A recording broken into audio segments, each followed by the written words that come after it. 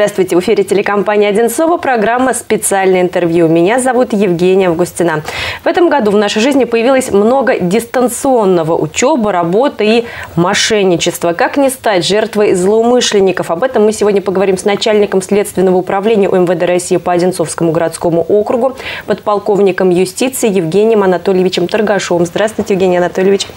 Добрый день. Мы сейчас ни в коем разе не обманули телезрителей. Действительно ли мошенники ушли и в эту область нашей нашей жизни в дистанционную. Да, действительно, в дистанцию ушли не только образовательные учреждения организации, но и мошенники. Набирает обороты. Данный вид мошенничества на сегодняшний день предпринимаются колоссальные меры для того, чтобы э, подстроиться под э, данную категорию преступлений с сотрудникам правоохранительных органов и, соответственно, не допускать, э, пресекать подобные факты. Какие схемы чаще всего используют? Схем большое множество, и если я буду говорить о них о всех, то, наверное, сейчас мы затянем эту передачу надолго, поэтому остановлюсь на наиболее популярных. То есть самая простая схема и э, самая, наверное, часто встречающаяся у нас на практике, это когда э, дистанционно происходит списание денежных средств с карты по, э, скажем, при участии самого, скажем так, потерпевшего. То есть поступает звонок, добрый день, ваша карта заблокирована, необходимо срочно обратиться за помощью. Для этого вы будьте добры, проследуйте к банкомату, э, продиктуйте нам все свои пин-коды, пароли, мы вам продиктуем счет, куда перевести, пока что ваши денежные средства там не похитили. И в таком случае э, есть возможность сохранить. Вот это, наверное, э, способ, он номер один на сегодняшний день. Если будем идти по рейтингу, да, по, по количественному отношению. Второй способ. А, тот способ, когда человек размещает объявления на различных рекламных сайтах, продает какое-то имущество, поступает звонок от предполагаемого потенциального покупателя. Потенциальный покупатель говорит, слушайте, заинтересовал ваш товар, а, пожалуйста, не продавайте, дайте время, а, ну, скиньте свой номер карты, мы сейчас вам несем предоплату. Человек, соответственно, удивлен, как быстро только разместил объявление, уже звонок. Он диктует номер карты, ничего не подозревая. Дальше что происходит? Используя эту э, банковскую карту, злоумышленники, соответственно, э, регистрируются в личном кабинете, либо используют смс э, пароли для того, чтобы получить доступ к этой карте, соответственно, отправляя команду с переводом денежных средств. И код подтверждения этой операции всегда приходит на телефон, к которому банковская карта привязана. Таковы правила банка. Соответственно, лицу, которому поступает подобное сообщение, э, где будет э, указан определенный код для подтверждения операции, э, скажем так, не подозревая, что в отношении него совершается какое-то мошенничество, звонит ему злоумышленник и говорит, слушайте, все, я для того, чтобы вам подтвердить перевод, мне от вас нужно 4 цифры. Ну, там образно 4, где-то в каких-то банках 5. Соответственно, люди, ну, как бы видят, что да, действительно, вроде какой-то запрос на операцию, наверное, действительно имеет место быть. Диктуют им свой код, и вместо того, чтобы получить обещанный аванс за то, чтобы не продавать то или иное имущество, получается, что с карты снимается кругленькая сумма. Человек остается, скажем так, расстается своими денежными средствами. А, вот это, наверное, второй по популярности э, способ.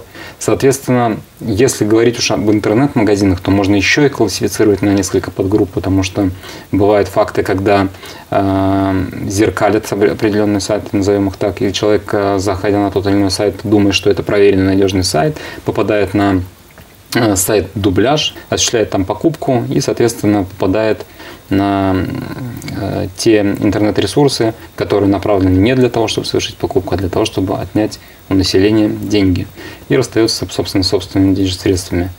Третий способ э, мошенничества – это тот способ, когда злоумышленники не используют интернет-ресурсы, не используют э, какие-то сложные банковские схемы, он э, весьма банально прост. В ходе телефонного звонка злоумышленник звонит нашему потерпевшему и выдает информацию, которая, соответственно, э, вводит потерпевшего в резкое возбужденное состояние. Это негативная информация, это информация, которая заставляет человека переживать, испытывать э, те или иные эмоции и под эмоциями совершать определенные, скажем так, неправильные действия.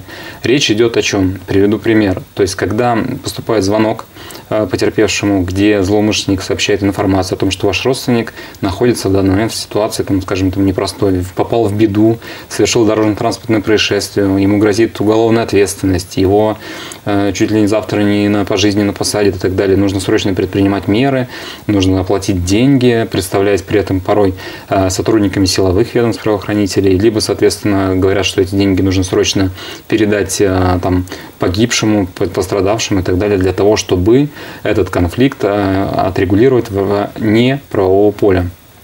И в таком случае э, человек, пишет такой звонок, э, зачастую вместо того, чтобы, положив телефон, перезвонить тому самому родственнику, оказавшемуся в беде, бежит к банкомату, ему надиктовывают номер счета, куда необходимо сделать перевод – и, собственно, этим э, злоумышленники и пользуются. Пока человек находится в таком состоянии, они интенсивно поддерживают диалог, то есть постоянно подкрепляют теми или иными новыми фактами. И человек, находясь вот в таком состоянии, не понимая, что в отношении совершается преступление, осуществляет перевод со своей карты, после чего, собственно, э, через какое-то время связь э, с мошенником утрачивается. И, человек начинает человек, критически А человек мыслить. начинает здравомысляще мыслить и оценивать ту, ту или иную ситуацию. Вот это третий способ.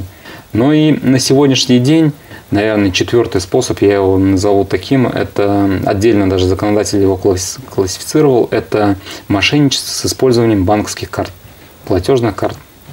То есть на сегодняшний день э, наш современный мир невозможен без расчета используя, с использованием банковских карт. И всем прекрасно ходим в магазины и оплачиваем товары, заправляем автомобиль. Сейчас более того, мы к этому призываем, потому что это бесконтактный способ Бесконтактный, оплаты. совершенно верно в условиях нашей ситуации, бесконтактная оплата и так далее. Но э, зачастую многие карты, многие банки э, бесконтактную оплату до определенной суммы Э, скажем так, позволяют проводить эти операции без запроса пин-кода для того, чтобы совершить эту операцию. Как правило, это в пределах тысячи рублей, э, в зависимости там, от э, индивидуальных, скажем так, предпочтений клиентам. Соответственно, при утрате подобной карты, если она попадет в ведение другого лица, то другому лицу ничего не мешает, используя эту банковскую карту, совершать платежные операции в пределах тысячи рублей. И такие факты у нас, соответственно, регистрируются тоже очень часто. То есть человек, понимая, что карта ему не принадлежит, и, соответственно, он не имеет права пользоваться денежными средствами, хранящимися на счете, используя эту банковскую карту, соответственно, прикладывает ее э, в том или ином э, заведении торговом и выдает э, себя за владельца этой банковской карты. У нас на сегодняшний день а, нет жестких требований, нет жестких каких-то правил, что продавец обязан удостовериться в личности, то есть сверить паспорт, сверить данные банковской карты, еще потребовать договор на открытие этой банковской карты. Таковых правил нет, поэтому, соответственно, ничего не подозревающий сотрудник кредитной организации либо торговой организации а, принимает эту банковскую карту, которую сам же э, человек прикладывает, осуществляя этой картой оплату. Вот это тоже отдельный вид мошенничества, когда э, банковскую карту э, выдают за собственную, скажем так. Вот, наверное, четыре способа наиболее популярных, о которых мы можем сейчас говорить. И они на сегодняшний день эти э, способы, ну, это очень, в очень большом количестве находится у нас на рассмотрении заявления, в производстве уголовные дела, поэтому действительно это проблема на сегодняшний день. А насколько сложно такие дела расследовать? Вот насколько сложно установить тех, кто затеял это а, недоброе а, дело? Сложности как таковой по этим делам, конечно, не могу сказать, что она есть. Есть определенные, конечно, есть различного рода дела, но, наверное, такую категорию к сложным не отнесу. Здесь сложность возникает лишь техническая. То есть все операции, которые проводятся без контакта, которые проводятся по расчетным счетам, все эти операции фиксируются, соответственно, в тех или иных кредитных учреждениях. И, пожалуй, одна из э, сложностей, которая возникает на пути у следователя, это получение этой информации. То есть э, подобных запросов в банке поступает масса, и мы, соответственно, не можем, скажем так, оперативно получить эту информацию. То есть не можем нам получить информацию в течение часа, не можем заблокировать карту в течение часа. Но все эти вопросы на сегодняшний день находятся в стадии проработки. Я думаю, что в ближайшем будущем мы э, не дадим возможность э, преступникам э, так легко, скажем так, э, справляться с переводами, осуществлять переводы, потому что, как правило, переводы осуществляются с одной карты, потом на карту подставных лиц снимаются там, через третьих. То есть все эти схемы, они нам известны. И для того, чтобы, скажем так, расследовать эти уголовные дела и понять, кто же конечный, скажем так, получатель денежных средств, сложность одна – это время, которое, соответственно, работает всегда не на нас. Самое эффективное – это раскрытие преступления по горячим следам. Это всем известно. Вот э, в данный вид преступления по горячим следам ну, практически невозможно раскрыть. Но, тем не менее, как бы, говорю, существуют способы э, работы с банками, работа непосредственно с самим потерпевшим, э, работа с учреждениями, где это происходило, для того, чтобы получить видеозаписи, аудиозаписи разговоров и так далее. Все это мы проводим. И на сегодняшний день я могу сказать, что точно сложность, наверное, только вот, вот в этом. Больше даже нечем говорить здесь. Вот эти схемы дистанционного мошенничества, скажем так, они применяются только к физическим лицам или к юридическим лицам в том числе? А, здесь, знаете, предпочтения нет а, у злоумышленников. Предпочтение одно. А, скажем так, объект, на который посягает преступник, им интересен только тем, что должно быть наличие денежных средств у этого лица, неважно, юридическое оно или физическое. У юридических э, лиц, скажем так, несколько иной формат э, обращения безналичных денежных средств и схемы, применяемые к юридическим лицам, отличаются от тех схем, что мошенники используют по отношению к физическим лицам. Поэтому способ разный, а объект преступного посягательства один. Денежные средства, где будет плохо, скажем так, назовем это, лежать, туда мошенники и будут направлять свои активные действия для того, чтобы совершить хищение. Но если возвращаться к физическим лицам, наверняка анализируйте, да, кто чаще всего становится жертвой преступников. Вот есть какие-то типичные черты, а, вот можно ли предположить, вот этот человек, а, ну, скажем так, предрасположен поверить людям? Ну да, целая наука об этом есть, виктимология, то есть наука о жертве, потенциальной жертве. И я могу сказать с точки зрения даже этой науки, что да, действительно такая категория людей есть. Это пожилые, люди, соответственно, наиболее доверчивые. Ну и отдельная категория людей, помимо пожилых, это просто доверчивые люди. Таковых у нас в наше время хватает, когда э, человек воспринимает любую информацию как чистую монету и э, как к руководству действия, когда ему говорят там определен, определенный алгоритм, который он должен совершить. Поэтому вот анализируя работу э, нашу по расследованию и раскрытию подобных преступлений, могу сказать, что наиболее частые жертвы это, конечно же, люди пожилого возраста, э, люди, так сказать, советской закалки, которые привыкли э, верить э, всему и вся.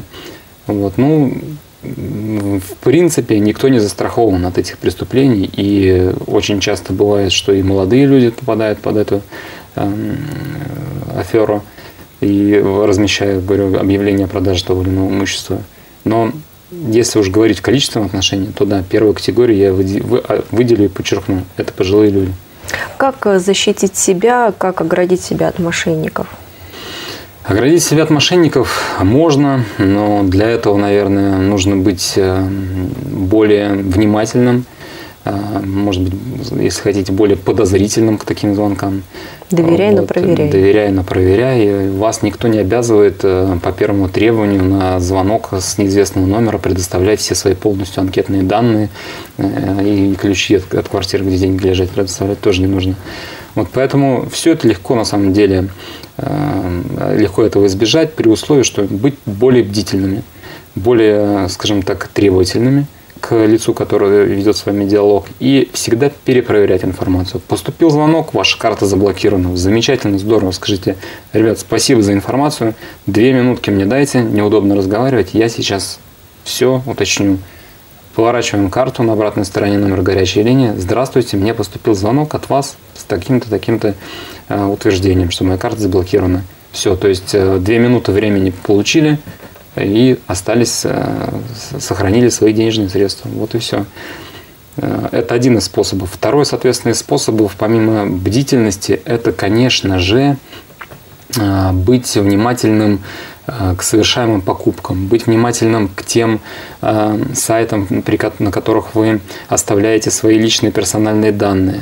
Э, быть внимательным, в принципе, э, к обслуживанию своей карты, то есть не передавать ее третьим лицам, не оставлять ее, не забывать ее, не терять в том случае, если что такое произошло. Опять-таки ничего не мешает обратиться на горячую линию банка и заблокировать свою карту, а не дожидаться, когда вам начнут приходить смс, что у вас тут сняли деньги, тут сняли. Вот. Все это, соответственно, э, эту информацию не только можно получить от сотрудников правоохранительных органов, как защитить себя от мошенников, но и банки проводят огромную работу, то есть э, э, профилактическую, направленную на то, чтобы что делать, чтобы не стать жертвой мошенничества. Ну вот, пожалуй, наверное, это аксиома как не стать жертвой мошенничества. Все остальное индивидуально. Спасибо большое, Евгений, то, что пришли к нам сегодня в студию. Я надеюсь, что наши советы будут полезны для телезрителей, для, да и нам тоже лишний раз вспомнить не помешает. Спасибо большое всем, кто провел свое свободное время вместе с нами. Берегите себя и до новых встреч на ОТВ.